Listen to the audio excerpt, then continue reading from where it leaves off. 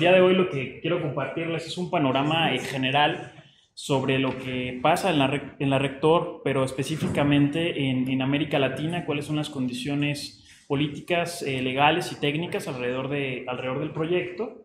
Y pues mi nombre es Jacobo Nájera, yo vengo del ámbito de las humanidades y las ciencias sociales. Eh, principalmente mi trabajo está relacionado con investigación aplicada a los derechos humanos y a la tecnología. Y también eh, trabajo mucho el tema de pues, eh, los derechos humanos vinculados a libertad de, de expresión. Eh, participo también de una cooperativa tecnológica de Primero de Mayo, una cooperativa tecnológica que principalmente trabaja con movimientos sociales. Y eh, pues eh, el día de hoy les voy a compartir otra de las cosas en las que, en las que, en las que estoy participando activamente y que es el crecimiento de la red Tor, en, en, si bien en México, pero cómo es que se relaciona y conversa esa, esa discusión en toda América Latina.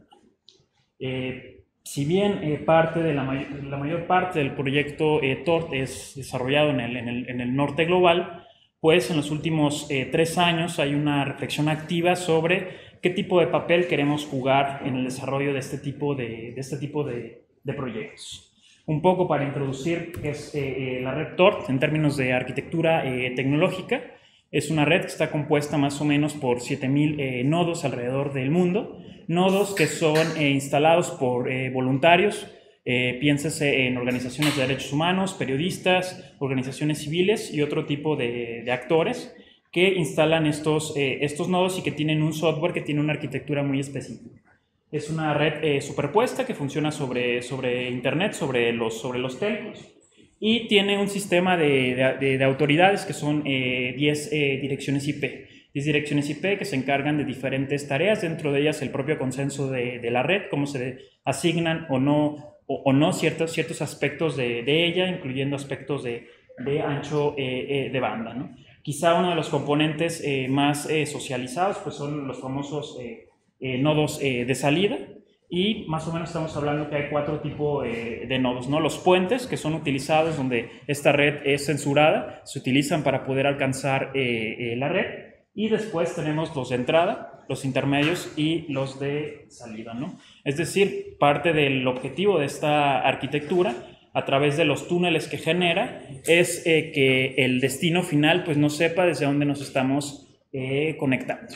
Aquí voy a parar un poco y voy a parar un poco la parte técnica y voy a partir de, una, de un planteamiento. Y el planteamiento es que eh, parte de las desigualdades en las que vivimos pues se ven reproducidas en el contexto eh, digital. ¿no? En ese sentido, eh, TORT eh, no es ajeno a ese, tipo de, a ese tipo de tensiones o a ese tipo de, de situaciones. Dejo ahí un poco, lo retomo más, más adelante esta idea. Y bueno, la red en términos de operación pues tiene más o menos, eh, bueno, esos son los, son, los, son, los usuarios, que más o menos está llegando en, en los picos, llega a 3 millones eh, de usuarios. Estas son las mediciones actuales que ha hecho el propio, el propio proyecto, de las propias métricas del proyecto, pero pues hay, hay, hay fluctuaciones, que es justamente lo más, lo más interesante. En términos, igual eso lo comento muy rápido, en términos de capacidad de, de la red, es una red que tiene una capacidad hasta de 400 gigabits por segundo, pero actualmente solamente se usa a un eh, 50%. Este dato va a ser importante más adelante con lo que les voy a platicar. Bueno, parte de estas eh, desigualdades pues se ven manifestadas en el desarrollo también de otro tipo de tecnologías. Más o menos a partir del 2012, 2011, sobre todo en México y América Latina, se comenzaron a documentar tecnologías eh, que se utilizaban en contra de activistas, de periodistas, de defensores de derechos humanos, principalmente malware. Aquí hay dos eh, fabricantes, uno eh, Hacking Team, fin, eh, FinSpike. Este, este mapa fue desarrollado en 2015 y más o menos habla pues de, de uno de los negocios. Este malware este, en, en, ese momento era comprado por, por agentes del Estado y había documentación de que pues estaba siendo eh, abusado por parte de estos agentes del Estado y en ese sentido pues comenzó toda una discusión comenzó una discusión, pues cuáles son los límites del Estado en el sentido de, o, o de los gobiernos, eh, eh, hasta dónde pueden invadir o dónde no. Bueno, eh, la, es parte de, de, del contexto en el que, en el, en el que está eh, insertada la red, la red de, la red de todo. ¿no? Parte también más hacia, más a nivel regional, esta empresa de Hacking Team, empresa eh, italiana, además de generar toda una cadena de corrupción eh, impresionante en la reventa de este, de este software, eh, pues eh, tiene digamos, hay quienes dicen que América Latina, se, principalmente México, se convirtió en el paraíso para el desarrollo de tecnología de vigilancia. Esas solo son dos empresas, pero Hacking Team, este, Gamma Group, que estaba en, en el otro mapa, pero este, hay muchas empresas con estas características y eso es de 2016. Es decir, el escenario pues, se, ha, se ha complejizado. Eh, esta parte eh, es un, un, trabajo que hizo el Citizen Lab, eh, un, un, equipo en la Universidad de Toronto sobre un malware que fue utilizado contra periodistas y contra personas en México particularmente que buscaban a sus desaparecidos. Estoy hablando del caso de, de Ayotzinapa, precisamente, fueron este, atacados con este tipo de, de este tipo de malware. ¿no? Y, bueno, este, paro un poco aquí y es eh, principalmente en eh, el, tipo de perspectiva que quisiera eh, trabajar el día de hoy. Es decir, la red de Tor en este contexto para este tipo de personas es un componente crítico para su trabajo. A lo largo más o menos del 2012 hacia acá, muchos grupos han entendido y han, han incluso estrechado cierta relación con, con, con la red de Tor como un componente eh, vital para su, para su trabajo. Bueno, ¿quién usa la, red de Tor? Desde estos grupos hasta periodistas o hasta el propio gobierno. El gobierno le gusta la red de Tor para investigar, por ejemplo, la, agencia de investigación, eh, digo, la unidad de investigación financiera de, Hacienda e incluso de la propia Secretaría de la Función Pública de Gobierno Federal usan, usan Tor, son usuarios activos, lo promueven eh, lo usan académicos, es decir, el rango de uso es, es, es muy amplio. Y, por ejemplo, este, eh, incluso el propio gobierno federal se ha dado cuenta que es eh, relevante pensar en los derechos humanos, en la privacidad y en el, en el anonimato. Este proyecto de este buzón de la Secretaría de la Función Pública fue lanzado hace más o menos como dos o tres semanas, que básicamente llamaron este, alertadores internos, que básicamente es para asuntos de, de corrupción. Esto funciona sobre el sistema o sobre los servicios ONIO, que son parte de la red Tor. Entonces permiten eh, cierto margen razonable para garantizar ciertos elementos eh, de, anonimato. Eh, pero no solo, el, no, solo, no solo el gobierno este, usa la, la, la, red, de, la red de Tor, sino también es en, en el ejercicio periodístico. Esta red, que incluso fue parte del pretexto con el que se despidió a Carmen Aristegui de MBS, eh, fue una alianza de más o menos 5 a 6 grupos, se ha modificado a lo largo del tiempo, donde personas pueden enviar eh, algún, tipo de, algún tipo de asunto de interés público y pues eh, decidían a qué medio, de hecho tenían, tienen la opción de enviárselo a un solo medio o enviarlo a toda la alianza de medios y ellos verifican y demás esa información y le dan desarrollo en términos de una investigación mucho más, mucho más profunda, ¿no? De hecho, el que en la investigación, esto regresa un poco, la investigación hay contra el director eh, eh, de la Comisión Federal de Electricidad, la denuncia llegó por ahí. Pero bueno, pero, pero ¿qué pasa con, con, con, una perspectiva hacia, hacia, hacia América Latina? dentro de estos dos, dentro de estos dos eh, millones, o que llegaban hasta los tres millones, qué tipo de demografía de, usuarios y usuarias tenemos en, la región. Aquí pues destaca bastante eh, Brasil, que a veces en algunos momentos llega hasta los 30.000 usuarios. México es un usuario también eh, importante, que a veces está entre los 12.000 y los 15.000. Y aquí hay un rasgo también importante, que esto se transforma de acuerdo a las condiciones políticas. Hay veces que Venezuela en, sube cuando hay un, momento eh, político importante, sube. Por ejemplo, México en momentos de elecciones, en las últimas elecciones, subió el consumo. ¿no? Esto es muy interesante de cómo se relaciona e importante, es decir, tiene sentido pensar la desigualdad y pensar eh, cómo es que se implementa una, una, tecnología frente a un contexto, un contexto hostil que incluso hay quienes han llamado que pues, es un, un ambiente eh, militarizado. ¿no? Yo creo que se queda corta esa, esa, esa idea, pero bueno. Esto en cuanto a quienes utilizan eh, TOR en, en, la región. Esta es la, la, demografía. Esta, esta, medición se sacó más o menos hace como una semana. Es, eh, es reciente. Y ahora vamos a ver la otra parte. Esta parte principalmente eh, me interesa y que tiene que ver con que la mayor parte de los nodos de esta red pues, están concentrados en, en, en, en, lo que le llaman el norte global. Hace más o menos tres años, eh, varias, eh, sobre todo personas vinculadas a los derechos humanos, estas mismas personas afectadas por, por la vigilancia y por los abusos de la vigilancia, dijeron, bueno, ¿cómo, ¿cómo comenzamos a contribuir dentro del proyecto? ¿Con quiénes? ¿Cómo? Etcétera.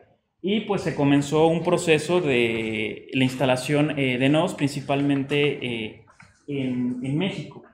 Pero estamos hablando que desde de esos 7000, a donde más llegamos en el caso de, de, de, por ejemplo, en el caso de México tenemos más o menos 22 nodos, en Brasil llegan a 44, en términos de ancho de banda, estamos hablando que Brasil quizá llega entre los 49 a los 50 megabits por segundo, y México llega más o menos eh, entre estar como entre los 40 y a veces llega incluso hasta los 45 y a veces llega también a superar a mismo eh, Brasil.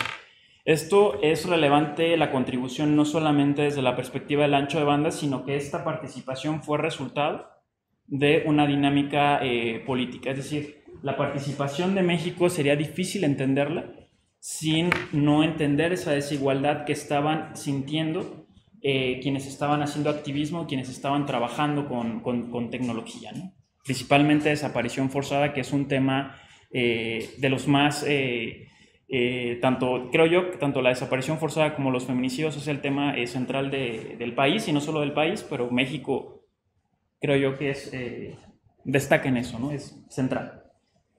bueno, este, ¿qué tipo de... Ahí me estoy adelante. ¿Qué tipo de, problemas tiene la red? Si bien es una red que funciona sobre servicios existentes, es decir, funciona sobre los telcos, ¿qué tipo de problemas se enfrenta para, poder instalar esos nodos alrededor eh, del mundo? Eh, hay un proyecto dentro del, entorno del proyecto eh, TOR que se llama el Observatorio Abierto de Interferencias en la Red. Cuando se comenzó a pensar la participación desde América Latina y principalmente en México era, bueno, porque hay pocos nodos. Eh, estos estos, eh, estos 22 eh, nodos en México que aportan más o menos desde 45 a 46 megabits por segundo, hace tres años no existía ninguno. A veces había uno, a veces no había ninguno. Había que explicarse por qué estaba pasando eso. Si era un tema solamente de infraestructura, era un tema de la arquitectura de la infraestructura, y en ese sentido, este proyecto fue, fue importante, es un proyecto que es parte del, del proyecto TOR en cierta medida, aunque tiene su propia eh, independencia. Y las dos principales características que hay en México que dificultan parte del crecimiento de la red TOR en términos de infraestructura es que eh, Telmex eh, realiza bloqueo activo de una parte de, de, los servidores autoridad, más del 50%. Entonces, pues no permite instalar nodos en dicha red. ¿no? Pero a pesar de ese bloqueo se logró ese crecimiento con otros, algunos otros proveedores. Este proyecto lo destaco en particular porque si bien es un proyecto joven, eh, es un proyecto que eh, todavía hay mucho trabajo por hacer. Quienes estén interesados en la parte eh, de análisis de datos, esto es muy importante porque es la manera en la que se puede comunicar el estado de, de una red. Es decir, este proyecto del, del observatorio hace mediciones en, en, todo el mundo. Por ejemplo, estas son las mediciones que se, las últimas mediciones que se hicieron en, en Cuba. Y bueno, esta es parte de las mediciones en, en México. Las, los datasets están disponibles. En este caso eh, se descargaron y se hizo esta, esta, esta, esta gráfica. Y cada una de, los, de, cada una de, los, de, de las tablas que tenemos aquí son uno, uno, de, las, de, los servidores eh, autoridad. Los que no sé si se alcanza a distinguir el color, pero los que están marcados en rojo y en un rojo un poquito más oscuro, más como llegando al marrón, son los que bloquea eh, Telmex. Estamos hablando 1, 2, 3, 4, 5, 6, 7. ¿no? ¿Son nodos de servidor? Eh, no, estos son los, eh, los nodos, este, los servidores autoridad. Eh, la arquitectura de la red Tor tiene estos 10 nodos y estos 10 nodos, cuando tú quieres instalar eh, un nodo, por ejemplo, de salida eh, intermedio o el que tú decidas, requieres sincronizarte a ellos, entonces requieres al menos un poquito, hasta el 50%, hasta donde dicen los que se encargan de esta parte, y pues el bloqueo es muy alto, esta parte se vuelve súper interesante porque hay una pregunta y es, bueno, si la red de Tor este, tiene hasta 400 gigabits por segundo y desde América Latina estamos aportando 45 megabits o hasta 100 megabits por, sentido, este, por segundo, ¿qué sentido tiene o cómo pensamos nuestra participación dentro, dentro, de, dentro, dentro, de, esa, dentro de, ese, proyecto?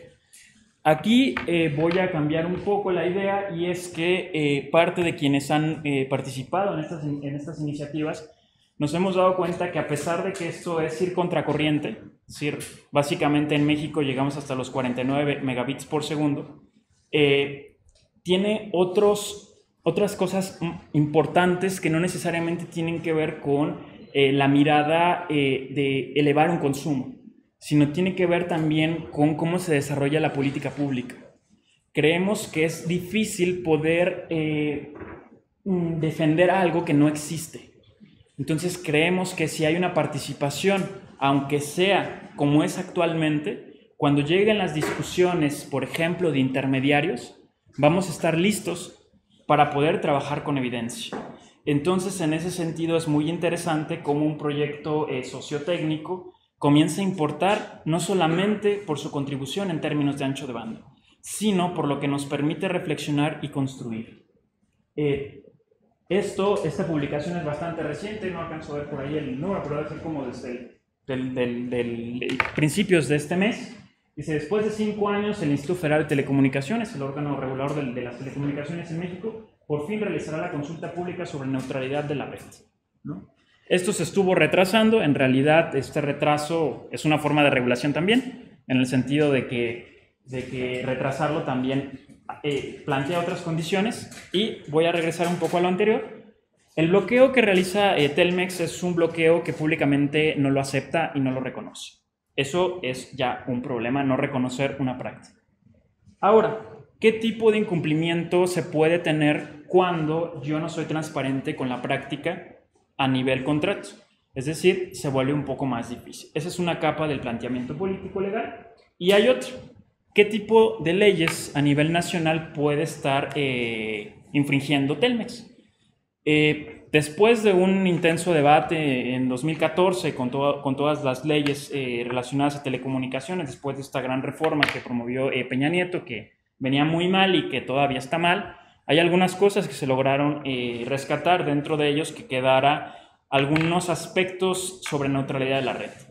Si bien la neutralidad de la red es un problema eh, teórico, práctico y, político, aún así, desde cierta perspectiva, es una batalla eh, importante o casi central. En ese sentido, quedó establecida en, en, las leyes la neutralidad de la red, pero no hay reglas que permitan interpretar esa ley. Entonces, por lo tanto, si se quiere iniciar un juicio en contra de Telmex, lo que dice el regulador, esto ya se ha explorado, lo que dice el regulador, sí es que no tengo reglas. Está en la ley, pero no tengo reglas. Bueno, pero lo tienes que hacer. Bueno, es que no se ha hecho ni la consulta pública. Bueno, la consulta pública va a comenzar. Entonces comienza a haber condiciones políticas para poder eh, meter eso, ¿no? Entonces, el análisis de datos, la participación de la gente que está operando, nos pueden llevar a buen puerto para poder eh, defender en cierta medida ciertas, eh, ciertas condiciones mínimas de, interoperabilidad. Y si no, al menos que podamos discutir por qué se lleva ese tipo eh, de medidas, es decir, cuál es el, razonamiento. Dentro de los derechos humanos se trabaja sobre dos principios. Uno de ellos es la necesidad y la proporcionalidad. Entonces, pues más o menos va este, por ahí este, la, la, la cosa me gustaría platicar con ustedes, en realidad este fue hasta donde eh, diseñé parte del, del, material, y es, bueno, cómo pensamos nuestra participación dentro de la red de Tor, no solamente dentro de la red de Tor, sino con proyectos que no solamente implican el desarrollo de software per se, sino tienen una relación eh, social, ¿no? Y eh, hay por acá, hay una iniciativa no me gusta el nombre, pero hay una discusión también sobre eso que le llaman el sur global, pero hay una lista de correo que se habilitó para comenzar a discutir esto. Hay un canal en, IRC y el sitio mx.internadanonima.net es eh, un espacio que tiene análisis legal Igual y eso puedo platicarles un poco también, pero igual y si me dicen por dónde les gustaría ir puede ser mejor. En México es completamente eh, legal la, el uso y la operación de la red Tor desde dos, desde dos perspectivas. Desde la perspectiva de que pues, una persona tiene derecho a elegir cómo construye su identidad, cómo ejerce su derecho a la libertad de expresión y desde otra perspectiva que tenemos derecho a desarrollar nuestras propias eh, arquitecturas y poder generar esquemas de gobernanza. Evidentemente, los esquemas de gobernanza pueden tener algún tipo de tensión, como les está pasando a las redes comunitarias en el sur eh, de México, que están haciendo un gran trabajo, pero principalmente son los dos ejes que permiten eh, que la red de Tor sea legal en, en México. Esto está cambiando en toda la región, en el sentido de que muy probablemente en los próximos dos años comencemos a hablar sobre las responsabilidades de los intermediarios, que es un asunto difícil porque eh, la mayor parte, por ejemplo, de plataformas dominantes como Twitter o como Facebook es parte del tema, si se regulan, no se regulan, hasta dónde sí, hasta dónde no. Pero ahí está en juego también eh, la posibilidad de autodeterminarse y de poder tener reglas, eh, digamos, acuerdos comunes sobre una arquitectura. Yo soy parte de un de primero de mayo que básicamente tenemos una infraestructura eh, física y esa infraestructura física tenemos acuerdos de cómo la utilizamos. Por ejemplo, hay acuerdos sobre cierto tipo de conflictos a nivel social con los cuales no está de acuerdo la organización y que no permite cierto tipo de participación. Y es un acuerdo, es una definición. Entonces, en ese, en ese sentido, defender el derecho a poder autodeterminar una arquitectura es central en muchas capas. Esa parte hay que defenderla y la red de Tor es un buen pretexto para hacerla. Y la otra pues tiene que ver con eh, nuestro derecho a desarrollarnos y a poder eh, elegir cosas sin eh, ser criminalizados, ¿no?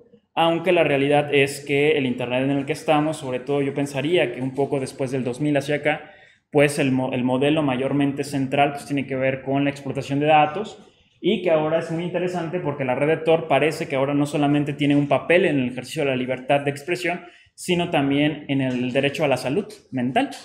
Hay quienes, por ejemplo, están comenzando a usar la red de Tor para poder, eh, digamos, mantenerse a salvo, ¿no? que no exploten cierto tipo eh, de vulnerabilidades a nivel emocional o cierto tipo de condición. ¿no? Entonces la discusión se está ampliando mucho más. Yo por ahí eh, terminaría.